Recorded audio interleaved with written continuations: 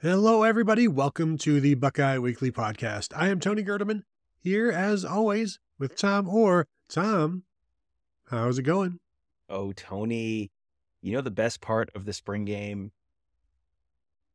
Some might say the weather, some might say the opportunity to go out and experience a lovely day in Ohio Stadium or just to see football. No, no, Tony. The best part of the Ohio State spring game is right now, this, right here. It is our most stupidest show of the year. We get to only do it so few times every year. It is our bold prediction show. Tony, in the immortal words of Bart Scott in a gift that you see all the time, can't wait. Can't wait. Can't wait. Um, do you remember any of your bold predictions from last spring? I assume they were all correct. I assume it was Kyle McCord will end up at Syracuse this time next year. Hmm. Um, that uh, Hmm. I don't know. Carnell Tate will have exactly the number of receiving yards he would have uh, that he ended up having. Brandon what? Miss will average 64 yards per catch during the regular season. I mean, I assume it was all that kind of stuff, right? Is that is that is that correct? Well, just for the spring game, I will tell you one of yours was that uh, Kyle McCord will have no better than 57% completion percentage. Now, I'm not going to tell you whether that was correct or not. Uh, one of mine was Caleb Brown would have at least six catches. I don't remember if that was correct. It probably was. But it is bold predictions for a spring game, which is the most important kind of bold prediction you can make. This is a, a different kind of research. Now, I personally have pulled up the box scores from every spring game since 2018 so that I can check you on your work, Tom, as you try to get something past me. And that's just, um, you know, we're going to start out the year well. And and the winner of this, or I should say the loser of this, um, the the next road trip we take will be to uh, Big Ten Media Days. That's going to be a three day thing, two nights, maybe three nights. So maybe there's something riding on this. Who's to say? Maybe I'll let you know after I find out if I won. Yeah, exactly. I will p- point out. I, I also went back and pulled up some past uh, spring game box scores. I did not go back quite as far as you did. hmm But I will say, of all the things that you do well, out of those two, I think that you maximizing the SEO on Ohio State spring game box scores is your best is your best trait yet.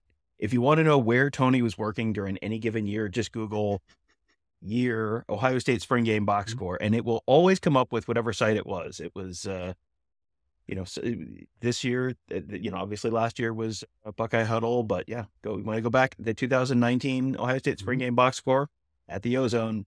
I, I did not go back to 2018, but Tony, I believe in you. I'm sure that comes up with the top result being the Ozone as well. In fact, it does. But I don't want to pat myself on the back just yet. We've got an entire show where I can do that. So um, now this show is probably also titled 14 Bold Predictions about Jeremiah Smith. But I'll let you go first. Well, so yeah, and that's that's the first one because I'm going to start with this one, and I feel like this is one that's going to get negotiated up in one way or another because I'm sure you have something similar as well. Jeremiah Smith has a reception of 50 plus yards. Now, this is one of these things that during a regular season game, if you picked one, you know, normally it's like the team will have one reception Mhm. of 50 plus yards. So to pick one player to have a reception of 50 plus yards during a regular season game would be maybe a two or even three pointer. I feel like you're going to look at this and go, only one, only 50, please. Tony, your thoughts? I also have a Jeremiah Smith. I only kept kept it to one, but it's later on. My only issue with this is that it yes, any one player having a 50-yard catch is bold. Jeremiah Smith is not any one player this spring. Like this is just what he does when he he's he's Willie Mays Hayes rolling out of bed, running a 4-2, you're catching 60 yards, you know, right out of the dorm room. However, it's a big play and and so we're gonna have to allow it. But this might be the last time we ever get to use use this one. So make the most of it because it might never be allowed again. And that's that's from you or me, I think. Yeah, I, I feel like by the end of the year, we might be, you know, if things proceed as they certainly seem to maybe be on a trajectory to be, it's going to be like, all right, he's going to have a reception of at least 127 yards and he has to take off his helmet and catch the pass in his helmet. And it, you'll be like, I don't know if that's worth two points. Uh, uh, maybe. It'd be like, and he has to save some children from a fire, and then I'll rewind the vi- video and it'd be like, no, he's putting the children into the fire. My first one, Tom. Now going back the long, illustrious history of Ohio State spring games from yet last year until 2018. The uh, no, no time in there, and probably before then ever did was there ever a game where four quarterbacks threw a touchdown in a spring game. So that is my bold prediction: four quarterbacks, at least four quarterbacks throw a touchdown or catch a touchdown. So like a ca- a caught touchdown is the same as a as a, a thrown touchdown because I don't want to lose out on this because instead of uh, Lincoln Kienholz throwing a touchdown, it's getting a Philly special thrown to him. So uh, four quarterbacks throwing or catching touchdowns. I think just the fact that you are throwing out Ohio State burns a bunch of razzle dazzle in the spring game as something that you're thinking could happen. I think Mhm. that in and of itself makes it bold. But yes, four quarterbacks throwing or catching a touchdown is a is a very good one. That's another one where I again I went I went back through a bunch of these box scores and I'm like, what's a reasonable expectation here? Is someone going to throw two touchdowns? And like basically no one ever throws two touchdowns in the spring game. You're not you're just not in there long enough. And with five quarterbacks being in there, they're going to be trying to churn through everybody. So you know you have you have a chance here but it's not as good of a chance as you probably listening at home you might think it is Hmm. all right so tony since we have now established there's going to be five scholarship quarterbacks and any you know any number of walk-ons potentially playing as well if i was to pick one player to be the leading passer in terms of yardage that would be fairly bold to pick that person out of the five to seven possible candidates i mean feels bold to me I'm going to say, oh, I don't know. Um, how about Julian Sayin? Let's say Julian Sayin is the leading passer in terms of yardage during the Ohio State spring game. Here's a couple of things. For one, it's bold to pick out a true freshman to lead the, the game in passing yardage. However, we're still not sure how much are Devin Brown and Will Howard going to play. I assume I assume quite a bit, but maybe they don't, which then lends itself to your bold prediction, which could just be a a prediction by uh, default, which is the worst kind of bold prediction, unless it's mine. So- So what I'm hearing is we don't know how much the quarterbacks are playing, but it's bold to pick a true freshman to lead. So this is so are you saying two points? Is that what I'm hearing? Or No, I, I'm just saying I'm going to allow it. I'm just telling the listeners and the viewers, eh, let's come on, grain of salt here. Like, is this really bold? It's like, no, but we're going to allow it. It's spring. It's the time for our renewal, rebirth, uh, planting seeds that maybe later on will sprout. Hey, I know you're saying this this prediction against Western Michigan or whomever isn't bold, but remember when I let the Julian Sayin bold prediction go in spring and this will be like right before the trip to Oregon or whatever, where the the kind of shame is really really in play there, and you definitely don't want to because we're staying at a hostel, so it's already going to be bad. I don't know what the kind of shame is at a hostel. I think it's probably bushes out back. So uh, just keep that in mind. Plenty of stakes this year. Anyway, so um, that was Julian Sayin leading the team in passing yards. yards? Yes.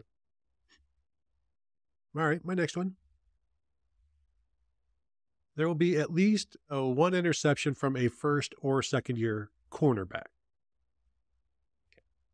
I think that's a that's a good one. And I went back and looked. There have not been a lot of turnovers in these spring games over the last few years, and we'll I have I have something about that a little later on. But I, I think that's a good one. Uh, An interception by a first. You said first year cornerback or first or second year, First or second. first or So- second year. So Yeah. basically one- a cornerback because Davison Igbinosun and Denzel Burke are not going to play, and they have a lot of very talented corners. So Honestly, we've seen walk ons get get interceptions as well, like fourth year walk ons. So I'm not I'm Mhm. taking those off the table. No interceptions. so walk-ons don't count. First or first or second year cornerback No. walk-ons don't count. No, I said we've seen fourth year walk ons get Mhm. interceptions. You know, Mhm. so I'm saying like there's that opportunity. Don't don't just say it's Denzel Burke or Davison Igbinosun. There's many more out there. I, Mhm. I'm just taking one small patch, saying, hey, maybe maybe these guys. Mhm. maybe these five guys, all of whom have been, uh, yeah, that, that's fine. That's Tony. It's picking a particular unit to do a particular thing, you know, to have an interception in the spring game, given the fact that there have not been a lot of turnovers Mhm. in the spring games recently, because there are not as many snaps as you think in these games. Because it's like, well, it's four, a four quarter game. It's like, well, is it? Is it really? Because it's it's really about a three quarter game, and so yeah, I I will allow this one. This is, uh, you know, this is another one. I mean, if you want to, if you want to give me grief for the uh, Julian Sayin one, you know, in your opinion, incorrectly, but in your opinion, not Mhm. being as bold as you might think. When you look at the body of, uh, you know, the, the the number of people you have to choose from in terms of the cornerback room, and the percentage of snaps that those first and second year corners are going to play uh, on Saturday, this is not quite as bold as it might as it might seem, but that's okay. Beg to differ. Next. All right, next up, Tony. Uh, we're assuming Jeremiah Smith will probably be starting, correct? Perhaps. Perhaps. Okay. So it would be remarkable if the defense were to not give up four touchdowns in the first four drives, right? I mean, all things considered. So, Tony, how about this? The defense forces three and outs or turnovers on three of the first four possessions.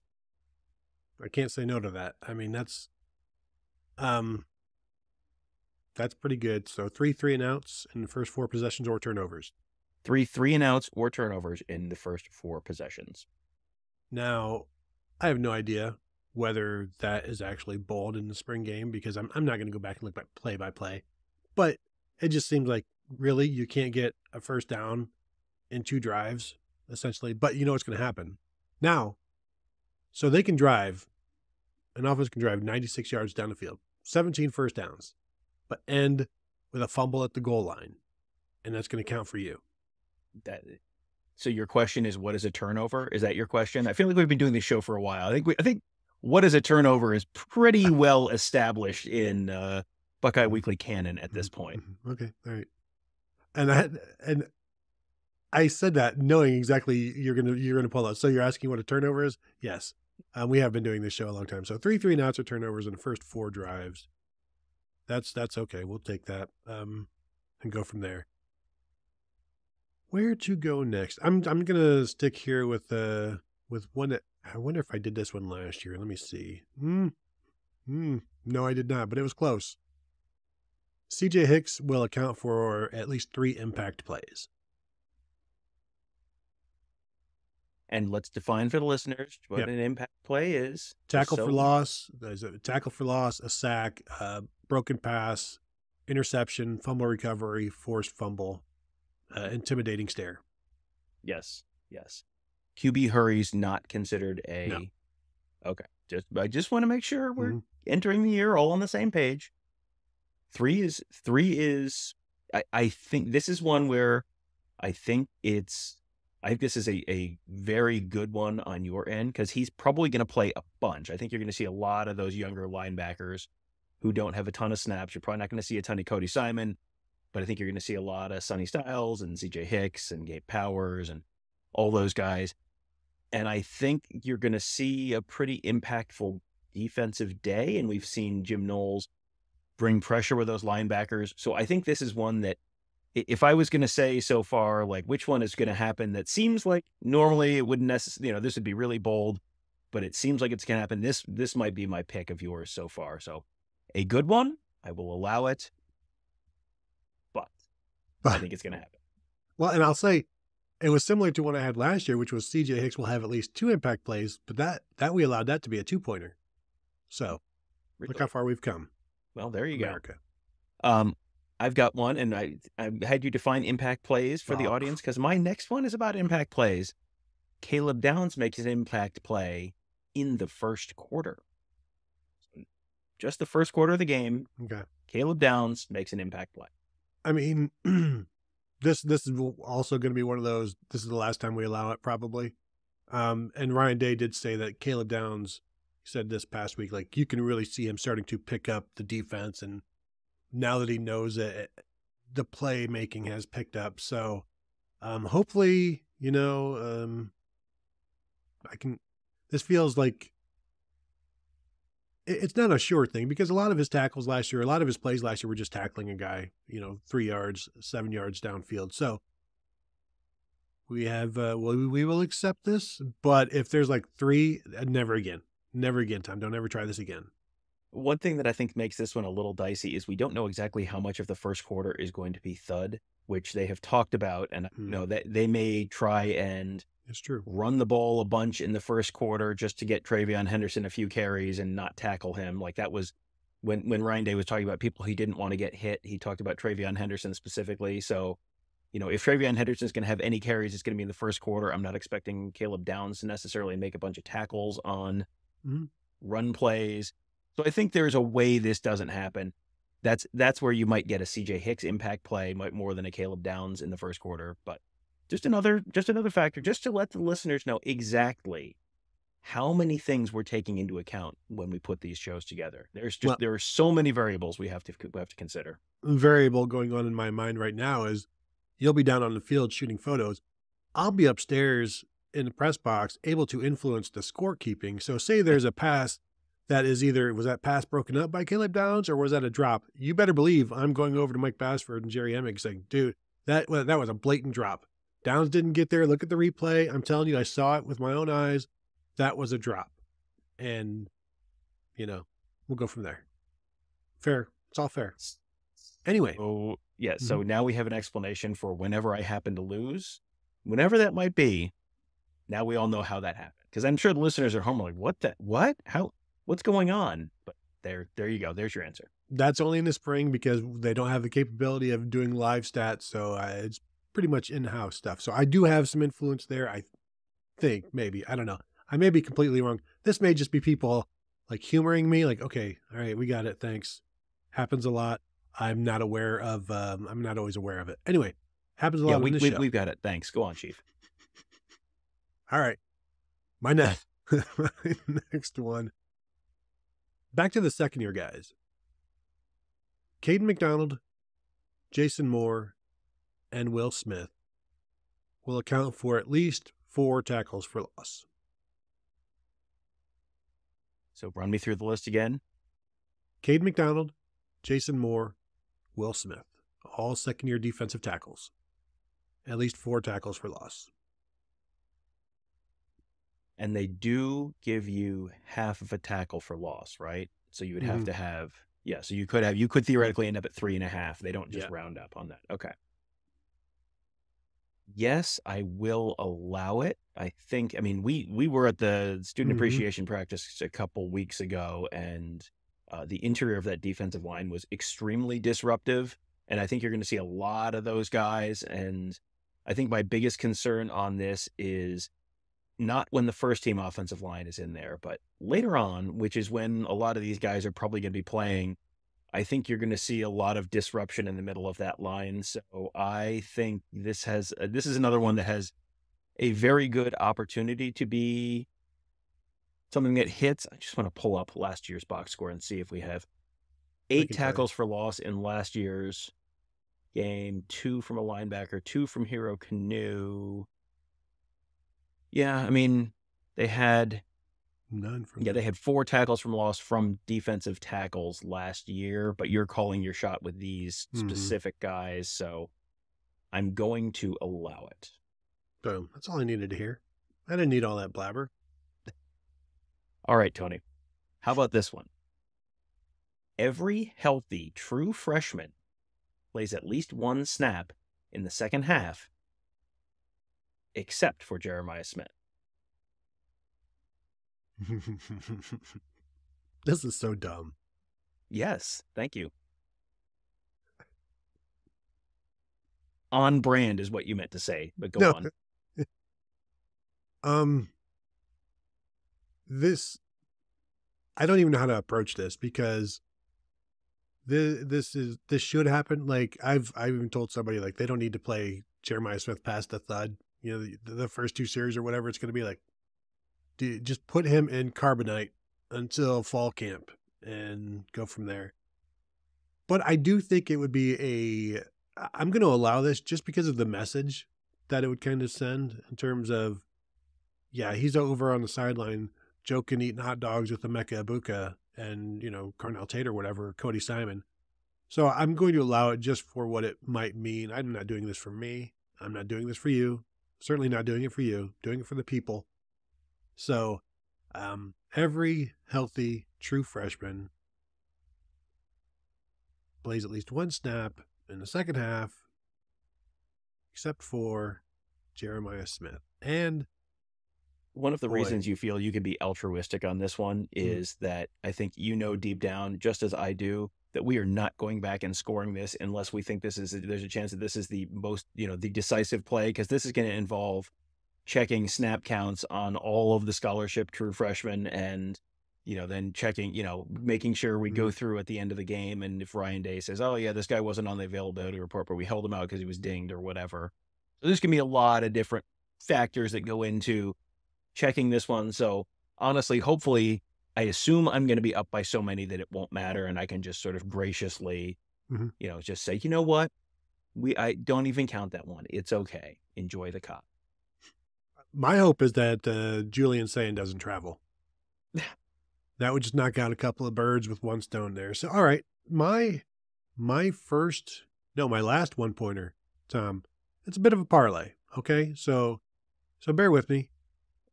Devin Brown will have at least 120 yards passing, at least two touchdowns. Accumu- uh, uh, accounted for, at least 65% completion percentage, zero turnovers, under zero yards rushing.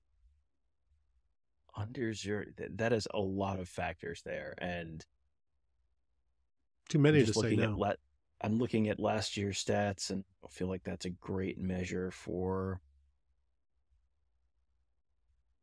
Yeah, I mean, it feels like 120, like I'm seeing like 127 yards on a lot of these previous Mm-hmm. quarterbacks. Like two years ago, he had 141 yards, one touchdown, one pick. Mhm, That's a turnover. You said he's under zero yards Yeah, with zero Rushing. turnovers as well. with zero turnovers. Yeah.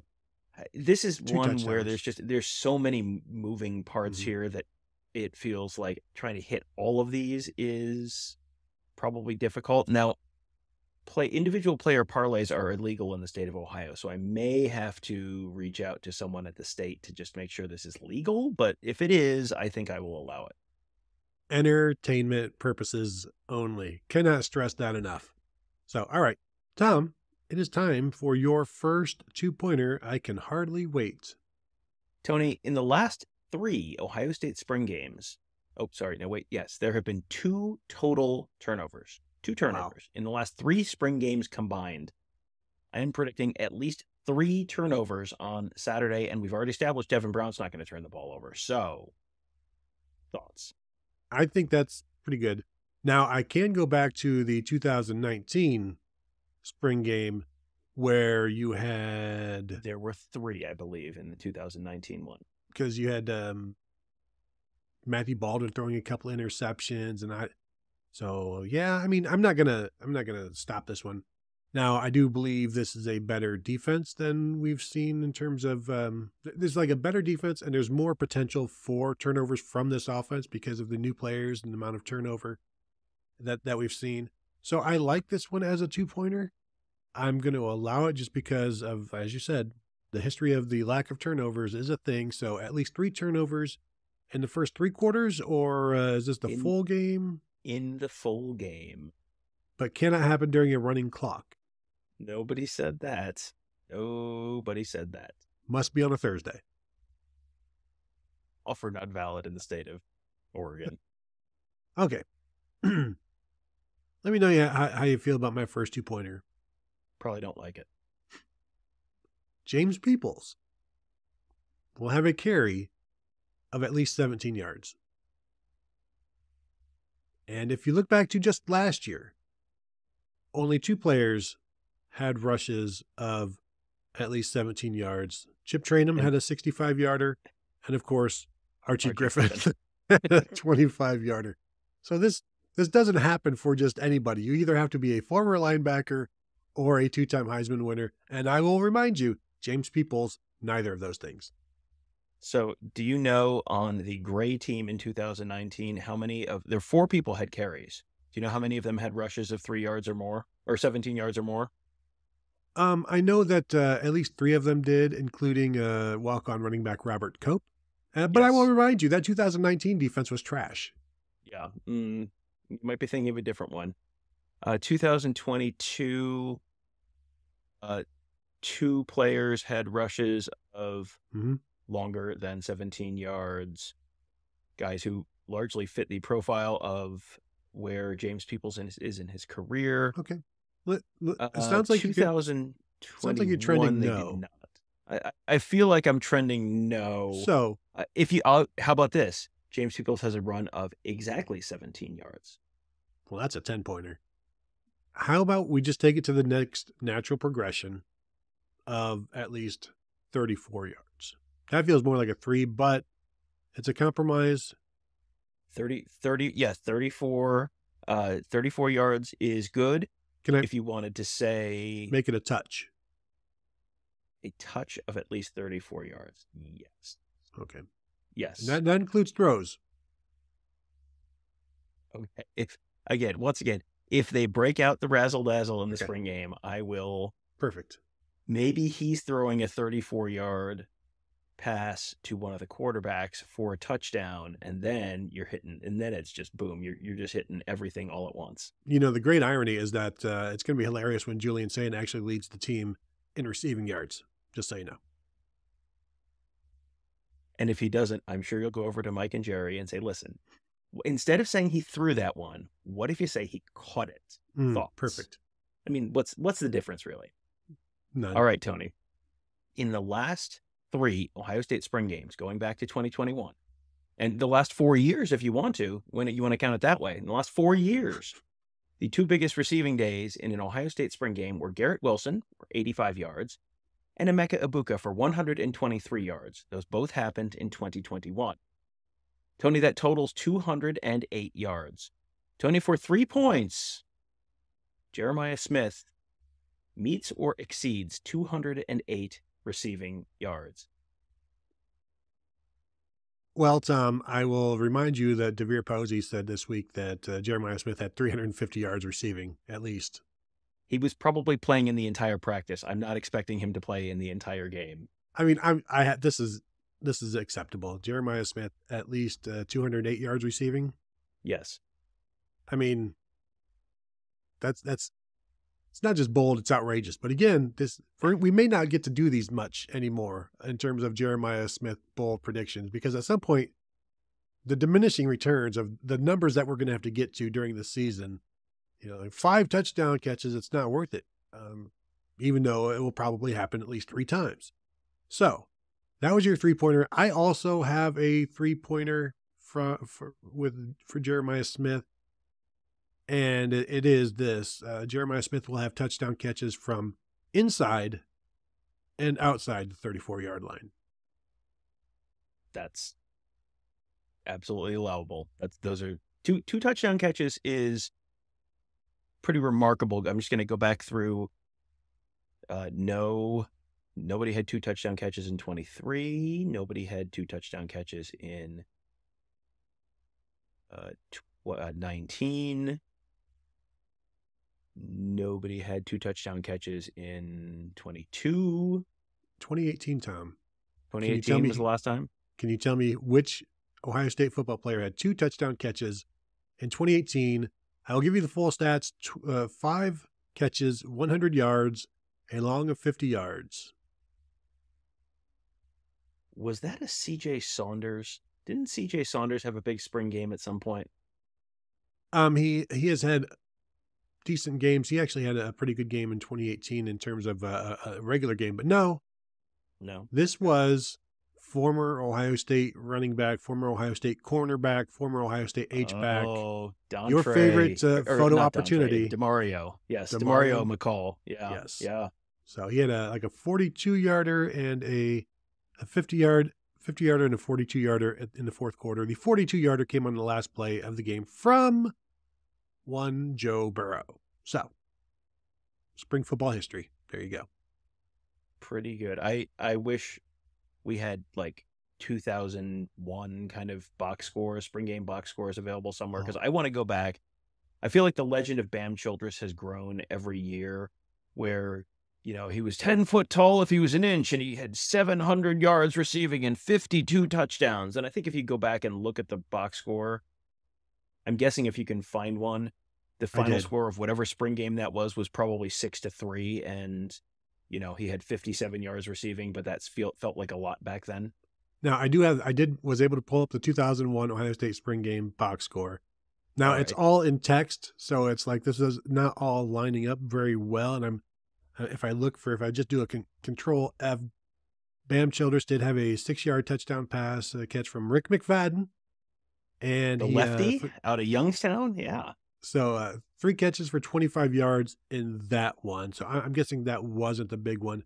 Maybe it was 2002, the one where um, Maurice Clarett did not play, but not a, not a great day for the quarterbacks. Uh, well, Steve Bellisari, 11 for 17 for 122 yards. Rick McFadden, 8 for 12, 76 yards. Andy Groom, 1 for 1 with for a loss of 1. So you say that trick plays don't come out in the spring. I tell you, Andy Groom, punter, one pass, lots of 1. Should have just 2002 Ohio State spring game. Bam Childress, one catch, eight yards. So it wasn't that year. 2003? well, how did it how did it become this then? Cuz I'm with you. It's like it was it was just this running joke. Um I'm checking 2000 know. right now. I can't find 2003. Oh, there it is. Looks like it's just a uh, photo gallery. Anyway, I'm sure I can just look up Bam Childress's Wikipedia. It would probably be there. I don't think he played in the 2000 Ohio State spring game. This is uh Is this you should do your, your re up re up your series on uh the the Ohio State things. Mythbusters. Yes. Yeah. Yeah. Boy, I I feel like I almost have to now. This is I'm a little shaken right now. I don't You know, I I wouldn't be surprised if some of this stuff comes from the spring scrimmages that we were allowed to people were allowed to go see. Um, oh, was that? Oh, was that a thing you used to be able to do? Oh, yes, really? it was in fact. So I. I wouldn't, I wouldn't be surprised if that's really where it it started because I remember being at one like Solomon Thomas had like eight sacks because it was like touch, and then he didn't quite do that in the spring game. But anyway, Tom, to the gift bold predictions, if you would. All right, let's see. So just to remind everyone, this is we give one to our opponent, which we feel is basically a freebie, and it's goodwill. just a gesture of goodwill. So you know, sometimes last year it was like uh, at least one Ohio State quarterback will throw for 11 yards in the game, something like that. So, all right, uh, Tony, I will give you this one, and because we're going to use Jeremiah Smith ones now, and we're probably not going to be able to use them in the fall, I will give you a Jeremiah Smith one as a sign of goodwill. Jeremiah Smith has at least 127 yards receiving. That's your freebie. Okay, I'm. You thought? I will take that. Um, that is acceptable. Hey, hey, Tony, remember four weeks ago when we were like, we don't want to set unrealistic expectations for a true freshman, so we're going to be is, real cautious with yeah, this. And this is no, just the first half, so that's why the number is so low. All right. So yeah, I'll, I'll, how about how about this, Tony? At least three Ohio State quarterbacks complete a pass of four yards or longer. Three QBs complete a pass of four yards. Okay, or longer. Got to make sure we get it get that in there. All right. So that'll that'll work. And my uh, goodwill gesture to you, there will be at least one touch sack in this game. Okay. Quarterbacks will be off limits in terms of the uh, sacking. So uh, the black jersey, black jerseys will be in effect, which means one or two hand touch. I think they, there may be one sack in there. At least, yes, at least one is seems from what we've seen so far this spring, that seems like that's plausible. So there you have it. How do you feel? I feel pretty good. Um, a lot of this is a bit extreme, um, but overall, that's kind of what the spring. It's supposed to be fun, right? This is not as serious, as deadly, as venomous as the regular season. This is just the spring. It's meant to be fun, um, but hopefully, Tom, you lose and you lose badly. It's always my favorite part of the any Ohio State football game is being on the sidelines and you being up in the press box and just texting each other back and forth with, haha, did you see this happen? Or did you see this not happen? And it's uh, it is a sure sign that football is back, even if it is just the spring game. And so we will be uh, on hand Saturday for that. We will have a post game, some post game coverage, of course. We will be um, at practice Friday morning to uh, and in the shoe, watching uh, the Ohio State football practice in the shoe. No camera, no video, but we will have a post post practice thing there going live on YouTube. So if you have not yet subscribed to us on YouTube, go ahead and do that at youtube.com slash Buckeye Huddle. If you're watching right now and you have not hit the bell to be notified, go ahead and do that, and we'll let you know. Uh, you'll be notified when we go live and let you know everything that we saw because we will be seeing a bunch on Friday and uh, probably do maybe some uh, quick previewing of uh, the spring game as well. But we will have more. So you can find that at uh, youtube.com slash Buckeye Huddle. Of course, you can always find us at buckeyehuddle.com.